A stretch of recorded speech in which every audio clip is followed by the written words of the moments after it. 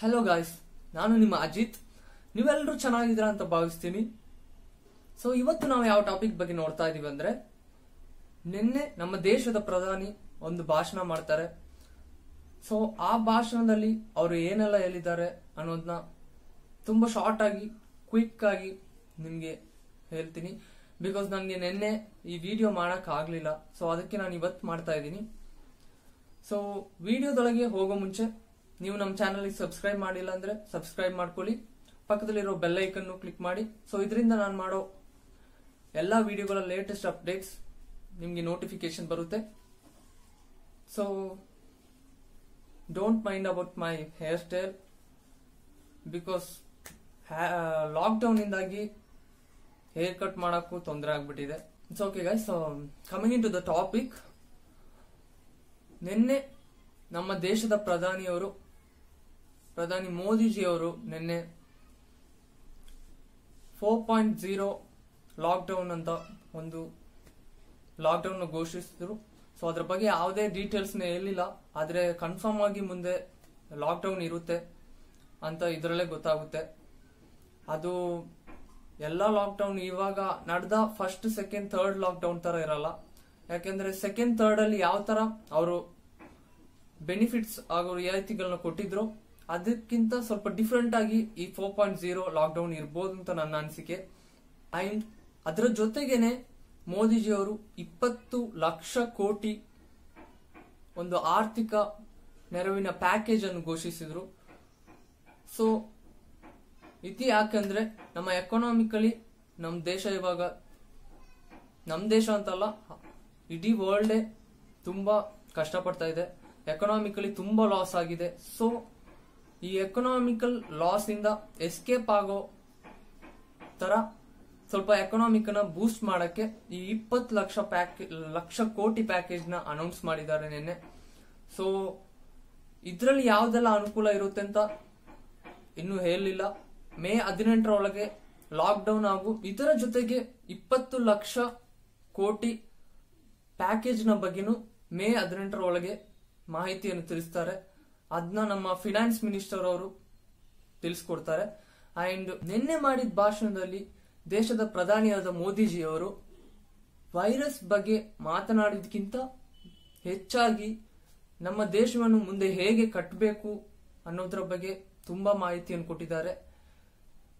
And ನಾವು ಇರೋ ಈ ಕೆಟ್ಟ ಪರಿಸ್ಥಿತಿಯಿಂದ ಹೇಗೆ ಹೊರಗೆ ಬರಬೇಕು ಹಾಗೂ ನಾವು ಹೇಗೆ ಸ್ವಾವಲಂಬಿಯಾಗಿ ಜೀವನವನ್ನು ಮಾಡಬೇಕು ಅಂತ ಹೇಳ್ಕೊಟ್ಟಿದ್ದಾರೆ. ಅದು ಏನಂತ ಇವಾಗ ತಿಳ್ಕೊಳ್ಳೋಣ. ಫಸ್ಟ್ ಅದರ ಒಳಗೆ ಹೋಗೋದಕ್ಕಿಂತ ಇಪ್ಪತ್ತು ಲಕ್ಷ ಕೋಟಿ ಪ್ಯಾಕೇಜ್ ಅಂದ್ರೆ ನಮ್ಮ G D P two point nine trillion dollars so ಅದರಲ್ಲಿ ಹತ್ತು ಪರ್ಸೆಂಟ್ ಆಫ್ ಅಮೌಂಟ್ನ ಈಗ ಆರ್ಥಿಕ ಸಂಕಷ್ಟಕ್ಕೆ ತೆಗೆದಿಟ್ಟಿದ್ದಾರೆ ಸರ್ಕಾರದವರು ಸರ್ಕಾರದವರು. ಸೊ ಈ ಬಜೆಟ್ ಮಂಡನೆ ಆದ ತಕ್ಷಣ ಇದರ ಎಲ್ಲ ರೆಸ್ಪಾನ್ಸಿಬಿಲಿಟಿನ ಫಿನಾನ್ಸ್ ಮಿನಿಸ್ಟರ್ ತಗೋತಾರೆ. ಅಂಡ್ ಇಷ್ಟು ದೊಡ್ಡ ಮೊತ್ತದ ಬಜೆಟ್ ಇಂಡಿಯಾದಲ್ಲಿ ಇಂಡಿಯನ್ ಹಿಸ್ಟ್ರಿಯಲ್ಲಿ ಯಾವತ್ತೂ ಘೋಷಿಸಿರಲಿಲ್ಲ. ಬಿಕಾಸ್ ಇದು ಜಿ ಡಿ ಅಲ್ಲೇ ಹತ್ತು ಪರ್ಸೆಂಟ್ ಆಫ್ ಹಣ ಅಂತ ಹೇಳುವಾಗ ತುಂಬಾ ದೊಡ್ಡ ವಿಷಯ. ಹಾಗೂ ನಮ್ಮ ಕರ್ನಾಟಕವನ್ನು ಇದರಿಂದ, ಈ ಅಮೌಂಟ್ ಇಂದ ಒಂದು ಹತ್ತು ವರ್ಷಗಳ ಕಾಲ ರನ್ ಮಾಡಬಹುದು ಅಂತ ಹೇಳ್ಬೋದು. ಅಷ್ಟು ದೊಡ್ಡ ಅಮೌಂಟ್ ಸೊ ಈ ಹಣದಿಂದ ಯಾರಿಗೆಲ್ಲ ಉಪಯೋಗ ಆಗ್ಬೋದು ಅಂದ್ರೆ ದಿನಗೂಲಿ ಕಾರ್ಮಿಕರಿಗೆ ಹಾಗೂ ಕಿಸಾನ್ ಸಮ್ಮಾನ್ ಅಡಿ ಯೋಜನೆಯಲ್ಲಿ ನಮ್ಮ ರೈತರಿಗೆ ತುಂಬಾ ಹೆಲ್ಪ್ ಆಗುತ್ತೆ ಅಂತ ಹೇಳಕ್ ಇಷ್ಟಪಡ್ತೀನಿ. ಹಾಗೂ ಈ ಮೈಗ್ರೇಟ್ ವರ್ಕರ್ಸ್ ಇರ್ತಾರಲ್ಲ, ವಲಸೆ ಕಾರ್ಮಿಕರು, ಇವರಿಗೆ ಹೆಲ್ಪ್ ಆಗಕ್ಕೆ ಅವ್ರು ಯಾಕಂದ್ರೆ ಅವರೇ ತುಂಬಾ ಕಷ್ಟ ಪಡ್ತಾ ಇರೋದು ಈ ಟೈಮಲ್ಲಿ ಹಾಗೂ ಮಿಡಲ್ ಕ್ಲಾಸ್ ಅಂದ್ರೆ ಟ್ಯಾಕ್ಸ್ ಕರೆಕ್ಟ್ ಆಗಿ ಪೇ ಮಾಡ್ತಾರಲ್ವಾ? ಈ ಮಿಡಲ್ ಕ್ಲಾಸ್ ಅವ್ರಿಗೂ ಸಹಾಯ ಆಗ್ಬೋದು ಅಂತ ಅನ್ಕೋತೀನಿ. ಇನ್ನೂ ಅದ್ರ ಬಗ್ಗೆ ಏನು ಎಕ್ಸ್ಪ್ಲನೇಷನ್ ಕೊಟ್ಟಿಲ್ಲ. ಕೊಡ್ತಾರೆ ಶೀಘ್ರದಲ್ಲಿ. ಸೊ ಅಲ್ಲಿ ತನಕ ನಾವು ವೆಯ್ಟ್ ಮಾಡಬೇಕಾಗುತ್ತೆ. ಸೊ ಮೋದಿಯನ್ನು ದ್ವೇಷ ಮಾಡುವ ಹಲವಾರು ಜನ ಇರುವ ಇಲ್ಲಿ. ಮೋದಿ ಅವ್ರು ಮಾತ್ರ ಯಾವತ್ತು ಯಾರನ್ನು ಬಿಟ್ಕೊಟ್ಟಿಲ್ಲ ಅಂತ ನಾನು ಹೇಳಕ್ ಇಷ್ಟಪಡ್ತೀನಿ. ಬಿಕಾಸ್ ಯಾರೇ ಏನೇ ಕೋಪ ಮಾಡಿಕೊಂಡ್ರು ಅವ್ರ ಮೇಲೆ, ಅವ್ರು ಮಾತ್ರ ನೀವೆಲ್ಲರೂ ನನ್ನ ಸಂಬಂಧಿಕರ ತರ ನೀವೆಲ್ಲರೂ ನನಗೆ ಒಂದು ಫ್ಯಾಮಿಲಿ ತರ ಅಂತ ಹೇಳ್ಕೊಂಡು, ಏನೇ ಆದ್ರೂ ಎಲ್ಲರ ಜೊತೆ ನಾನು ಇರ್ತೀನಿ ಅಂತ ನಿನ್ನೆ ಭಾಷಣದಲ್ಲಿ ತಿಳಿಸಿದ್ದಾರೆ. ನೀವು ಯಾವುದಕ್ಕೂ ಭಯ ಪಡಬೇಡಿ, ನಾನು ನಿಮ್ಮ ಜೊತೆ ಕೊನೆ ತನಕ ಇರ್ತೀನಿ ಅಂತ ಭಾಷಣದಲ್ಲಿ ತಿಳಿಸಿದ್ದಾರೆ. ಹಾಗೂ ಈ ಇಪ್ಪತ್ತು ಲಕ್ಷ ಕೋಟಿ ನಮ್ಮ ಕೈ ಸೇರುತ್ತಾ ಅಂತ ಕೇಳಿದ್ರೆ ಕಾದು ನೋಡ್ಬೇಕಷ್ಟೇ. ಬಿಕಾಸ್ ಆ ಇಪ್ಪತ್ತು ಲಕ್ಷ ಕೋಟಿ ನಮ್ಮ ಸ್ಟೇಟಿಗೆ ಬರುವಷ್ಟರಿಗೆ ಅದು ಎಷ್ಟು ಸಾವಿರ ಆಗಿರುತ್ತಂತನೂ ಗೊತ್ತಿರಲ್ಲ. ಬಿಕಾಸ್ ಅಷ್ಟು ತಿಮಿಂಗಿಲಗಳು ಒಳಗಡೆ ಓಡಾಡ್ತಾ ಇದೆ. ಆ ತಿಮಿಂಗ್, ತಿಮಿಂಗಿಲಗಳೆಲ್ಲ ತಿಂದು ನಮಗೆ ಕಲಿಸ್ಬೇಕಲ್ವಾ ಏನು ಮಾಡೋಕ್ಕಾಗಲ್ಲ. ಅದು ನಮ್ಮ ದೇಶದ ದರಿದ್ರ. ಸೊ ನಾವು ಏನು ಮಾಡೋಕ್ಕೂ ಆಗಲ್ಲ. ಅಂಡ್ ಇದೆಲ್ಲ ಆದ ತಕ್ಷಣ ಮೋದಿಜಿಯವರು ಒಂದು ಇಂಪಾರ್ಟೆಂಟ್ ವಿಷಯಗಳನ್ನ ನಮ್ಮ ಜೊತೆ ಎಲ್ಲರ ಜೊತೆ ಶೇರ್ ಮಾಡ್ತಾರೆ. ಅದೇನಂದ್ರೆ ಒಂದು ನಮ್ಮ ದೇಶನ ಕಟ್ಟಕ್ಕೆ ಒಂದು ಐದು ಸೂತ್ರಗಳನ್ನ ಹೇಳ್ತಾರೆ. ಫಸ್ಟ್ ಒನ್ ಎಕಾನಮಿ ಎಕನಾಮಿಕಲ್ಲಿ ಏನ್ ಬರುತ್ತಂದ್ರೆ ಎಕನಾಮಿಕಲಿ ನಾವು ಹೇಗಾದ್ರೂ ಜಿ ಡಿ ಪಿ ಗ್ರೋತ್ ಆಗಿ ಎಕನಾಮಿಕಲಿ ನಮ್ಮ ದೇಶ ಸ್ಟ್ರಾಂಗ್ ಆಗಬೇಕು. ಯಾಕಂದ್ರೆ ಯಾವುದೇ ಒಂದು ದೇಶ ಬೆಳಿಬೇಕಂದ್ರೆ ಫಸ್ಟ್ ಅದಕ್ಕೆ ಬೇಕಾಗಿರೋದು ಫಂಡ್ ಸೊ ಆ ಎಕನಾಮಿಕ್ ಫಂಡ್ ಅನ್ನ ನಾವು ಹೇಗೆ ಗ್ರೋತ್ ಮಾಡಬೇಕು ಅಂತ ಹೇಳಿದ್ದಾರೆ. ಹಾಗೂ ಸೆಕೆಂಡ್ ಒಂದು ಇನ್ಫ್ರಾಸ್ಟ್ರಕ್ಚರ್ ಇನ್ಫ್ರಾಸ್ಟ್ರಕ್ಚರ್ಗೆ ಬಂದ್ರೆ ಮೋದಿಜಿಯವರು ನಮ್ಮ ದೇಶದ ಹಲವಾರು ನಗರಗಳಾಗ್ಲಿ, ಇಲ್ಲ ಇಡೀ ದೇಶವನ್ನೇ ಹೇಗಾದ್ರೂ ಬದಲಾವಣೆ ಮಾಡಬೇಕು ಅಂತ ಹೇಳ್ತಾರೆ. ಹಾಗೂ ಥರ್ಡ್ ಒನ್ ಬಂದ್ಬಿಟ್ಟು ಸಿಸ್ಟಮ್ ಬಗ್ಗೆ ಹೇಳ್ತಾರೆ.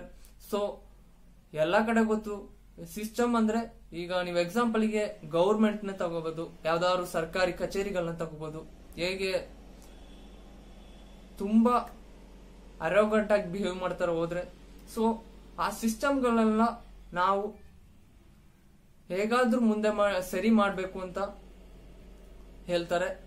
ಹಾಗೂ ಮತ್ತು ಟೆಕ್ನಾಲಜಿನ ಇಂಪ್ರೂವ್ ಮಾಡಿ ಸಿಸ್ಟಮ್ನ ಸರಿ ಮಾಡೋದ್ರ ಬಗ್ಗೆ ಹೇಳ್ಕೊಟ್ಟಿದ್ರು.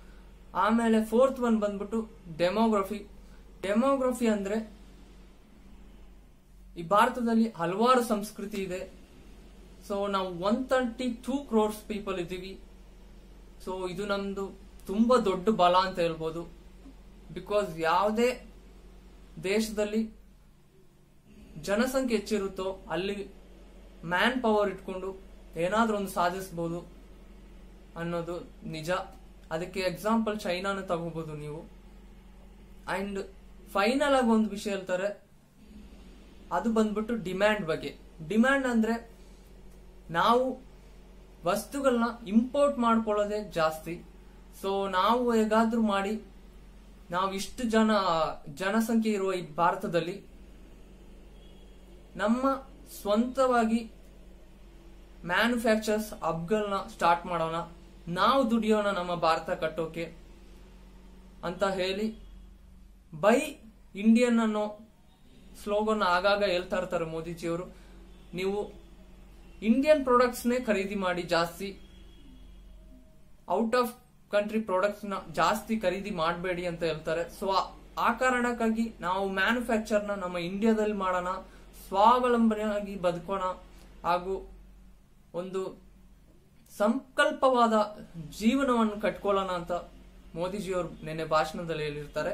ಸೊ ನಮ್ಮ ದೇಶವನ್ನು ಕಟ್ಟಲು ಮೋದಿಜಿಯಿಂದ ಮಾತ್ರ ಸಾಧ್ಯವಿಲ್ಲ. ನಾವೆಲ್ಲರೂ ಜಾತಿ, ಭೇದ, ಭಾವ ಅನ್ನೋದನ್ನ ಮರೆತು ನಾವೆಲ್ಲರೂ ಒಂದೇ ತಾಯಿಯ ಮಕ್ಕಳು, ಭಾರತಾಂಬೆಯ ಮಕ್ಕಳು ಅಂತ ಮನಸ್ಸಲ್ಲಿ ಇಟ್ಕೊಂಡು ನಾವು ಮೋದಿಜಿಯವರ ಜೊತೆ ದುಡಿದ್ರೆ ನಮ್ಮ ದೇಶ ಟೂ ತೌಸಂಡ್ ಟ್ವೆಂಟಿ ಫೋರ್ ಒಳಗಡೆ ಎಕನಾಮಿಕಲಿ ನಮ್ಮ ದೇಶ four point six dollar trillions ತನಕ ಬರುತ್ತೆ ಅನ್ನೋದು ನನ್ನ ಒಂದು ಕಲ್ಪನೆ. ಸೊ ನಾವೆಲ್ಲರೂ ಒಟ್ಟಿಗೆ ದುಡಿಬೇಕು, ನಾವೆಲ್ಲರೂ ಒಂದೇ ಅಂತ ತಿಳ್ಕೋಬೇಕು ಅನ್ನೋದನ್ನ ಈ ವಿಡಿಯೋದಲ್ಲಿ ನಾನು ನಿಮಗೆ ತಿಳಿಸ್ಕೊಡ್ತಿದ್ದೀನಿ. ಹಾಗೂ ನಮ್ಮ ದೇಶದ ಪ್ರಧಾನಿಯಾದ ಮೋದಿಜಿಯವರಿಗೆ ನನ್ನ ಒಂದು ರಿಕ್ವೆಸ್ಟ್ ಹಾಗೂ ಇದು ಎಲ್ಲರ ಕಡೆಯಿಂದ ಒಂದು ರಿಕ್ವೆಸ್ಟ್ ಬಿಕಾಸ್ ಎಲ್ರಿಗಿಂತ ತುಂಬಾ ಕಷ್ಟಪಡ್ತಾ ಇರೋದು ರೈತರು ಮತ್ತು ಯೋಧರು. ಯೋಧರು ಇಲ್ಲಾಂದ್ರು ನಾವು ಬದುಕಲ್ಲ. ಅನ್ನ ಹಾಕೋ ರೈತ ಇಲ್ಲಾಂದ್ರು ನಾವು ಜೀವನ ಮಾಡೋಕ್ಕಾಗಲ್ಲ. ಸೊ ಇವ್ರೆ, ಇಬ್ರೇ ನಮ್ಮ ಕಣ್ಣಿಗೆ ಕಾಣೋ ದೇವರು ಅಂತ ಅನ್ಕೊಂಡು ಯಾವಾಗ ಒಬ್ಬ ಯೋಧನ ಜೀವ ಹೋಗುತ್ತೋ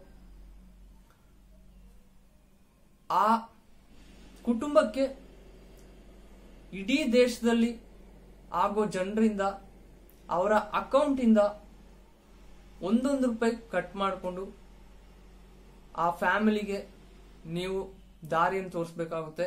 ಆ್ಯಂಡ್ ರೈತರ ಜೀವ ಹೋಗೋ ಮೊದಲು ಅವರ ಕಷ್ಟಗಳನ್ನ ನೀವು ಪರಿಹಾರ ಮಾಡಲೇಬೇಕು.